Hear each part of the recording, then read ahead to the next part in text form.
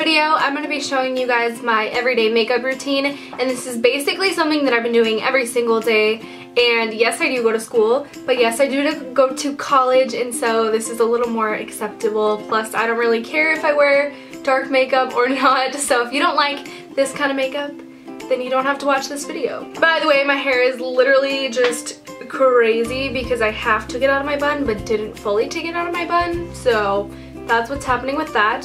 And also I spiced up my room a little bit back here with some like fall flowers instead of like my pink flowers that I usually have. So, you know, just getting in that fall spirit. But we'll be doing a Christmas decor video in a couple of weeks once I set up my room for Christmas. I think it's a little too early now. And my fall morning routine should be up on my channel now, so I will link that below. I did this look in that video, and so this is like the full look you know what I'm saying? So I really hope that you guys enjoyed this video and we can just go ahead and get started. I'm starting off with a fresh face with no makeup on and I'm going to take my Clinique moisturizer and put this all over my face just to prep it for the makeup. For foundation, I'm using my CoverGirl 3-in-1 foundation in Classic Ivory. This is my absolute favorite foundation in the entire world. It has the best coverage while feeling lightweight. I love it. And then I'm using my Maybelline Fit Me Concealer on any spots on my face and blending that in with the same brush.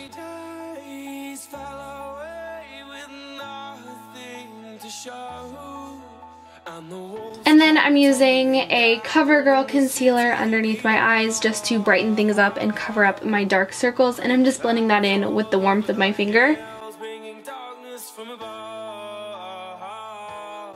Now to lock all of that in and powder up my face, I'm using my Rimmel Stay Matte um, pressed powder in translucent and I'm just going to, like I said, set all of my makeup. For bronzer, I'm using my Chocolate Soleil bronzer and this is just a little miniature version, but I love this stuff. And I'm just taking a fluffy crown brush and kind of putting this all over my face, adding some color in the warm in the hollows of my cheeks, my forehead, nose, kind of that area. And then I'm using my Benefit Rockateur blush on my cheeks. Then I'm using a highlighter by Urban Decay and this is the Naked Illuminated Powder and it's basically like one big giant ball of sparkle and I love it. And then I'm going to prime my lids using my Urban Decay Eyeshadow Primer Potion and then I'm going to fill in my eyebrows so before I fill them in, I like to go over them with some clear mascara. It helps so much if you've never tried it. I totally recommend it. And then I'm using a couple brown colors from my Naked Basics palette just to fill in my brows. Now, starting on the eyeshadow, I'm using my Lorac Pro palette, and the first color I'm going to use is Mauve, and I'm taking this on a fluffy brush, and this kind of looks pink um, in the palette, but it's actually like this nice, cool-toned kind of brown color. So I'm putting that in the crease just to kind of act as my transition shade. And then I'm taking taupe, which is more of a nice warm brown. I don't know why it's called taupe because it's absolutely not taupe. But I'm just going to put that right over the top and really focus that in the crease area. And then I'm taking Sable and that is just a warmer, darker brown and I'm putting that in the outer corners. The key to any dark makeup look is blending, so I'm taking my Sigma brush and blending everything out, and you will see me do that a few times. For my highlight color, I'm using Cream, which is one of my favorites ever, and I'm just putting that on my brow bone. And blending again.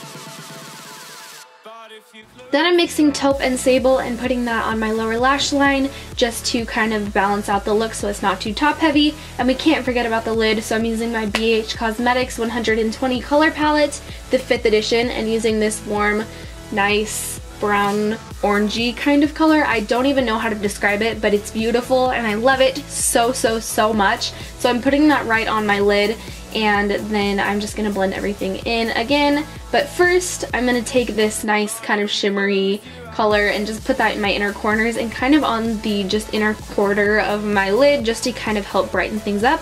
And then I'm taking this charcoal gray black kind of color and smudging that into my upper lash line instead of using eyeliner. And I look so pained while I'm doing this, I have no idea why.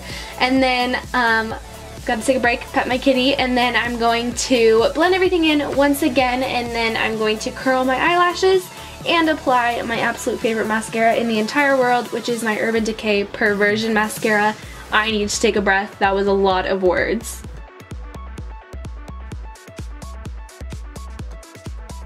So I'm just coating my lashes. I hope none of that was too quick for you. If it is, please go back and rewatch this because I'm sorry if I'm talking so fast. Then I'm just moisturizing my lips and using my e.l.f. lipstick in Classy, which is almost gone, so it's kind of hard to use. And then over the top, I'm using my NYX Butter Gloss in Creme Brulee, just kind of like a nice nudie kind of lip. This is kind of a 90s kind of look, I feel like. I really like it a lot, and I hope that you guys do too. Um, I decided to throw this picture in really quick. I used this beautiful, beautiful, beautiful, um, like reddish kind of berry lipstick kind of thing that I got in my Ipsy bag. I love it. I think it goes beautiful with this look and I think it would be perfect for like a night out or a holiday party or Thanksgiving or something. So that is kind of a second option if you don't want to go for such a light lip, but I think it's beautiful and I love it if you're looking for a darker lip. Called Wonder Lip Paint by J.ca. I don't really know. And it's in the color Red Potion, and I think this is so pretty. So that is the completed look.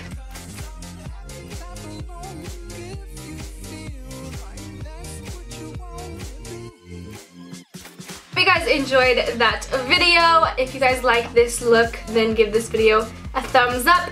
And I think that's all. If you guys decide to recreate something like this, send me a picture as always on my Twitter or Instagram which I made an end screen and you can see that at the end of the video and it's really cool and I made it myself and I'm really proud of it so if you like it let me know in the comments below and I've been forgetting to put it in my last few videos so I don't know if this is the first time you're seeing it or if I put it in my morning routine but anyways I love you guys very much and I will see you in my next video. Bye!